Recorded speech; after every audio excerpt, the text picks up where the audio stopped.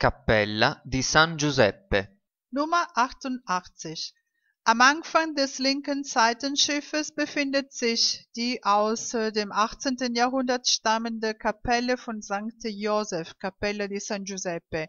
Sie ist durch eine mit Arabesken und Akanthusblättern Verzierung aus weißem und goldenem Marmor auf schwarzem Grund sowie im spätbarocken Stil gekennzeichnet